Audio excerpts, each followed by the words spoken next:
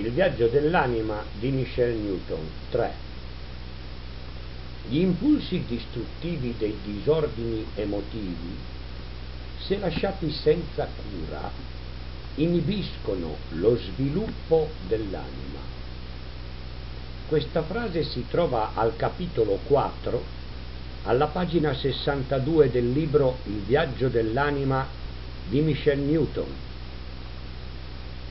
che cosa sono gli impulsi distruttivi dei disordini emotivi?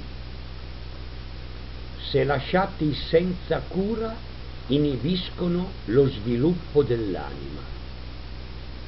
Il bambino che cresce senza amore avrà degli impulsi distruttivi perché si sentirà inutile e solo senza nessuno che lo ami.